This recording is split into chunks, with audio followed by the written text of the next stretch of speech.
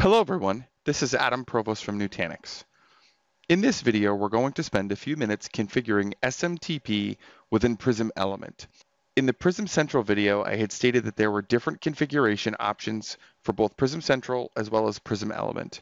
And the reason for that is because in different countries, there are different regulations, how you send mail, where you send mail from and to. So we wanted to provide customers with the flexibility and the ease of use of being able to use different SMTP configurations should they need it. Prism Central is really the aggregation point for many clusters. So lots of customers just simply configure Prism Central SMTP, and they actually leave Prism Element alone. Uh, we also have lots of customers that configure both. So I'm going to go over Prism Element. So I'm going to connect to Prism Element from Prism Central. If you wanted to, you could connect directly to your cluster VIP and access Prism Element directly. Here we're going to click on our cluster. Prism Element will launch. And then we're going to come to Home and we're going to navigate to settings. We'll scroll down until we get to SMTP server, and we're going to put in the host name.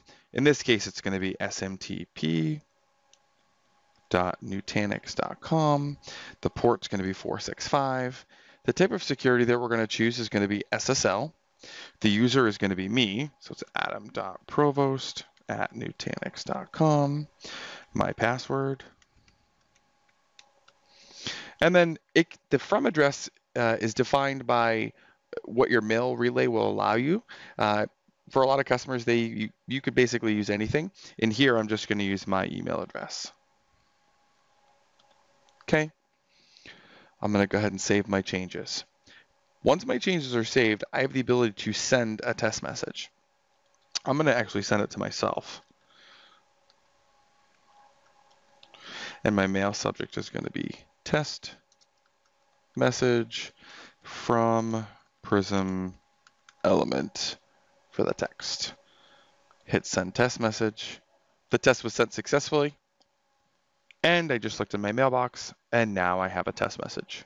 This has been how to set up SMTP server settings from within Prism Element. Thanks and have a great day.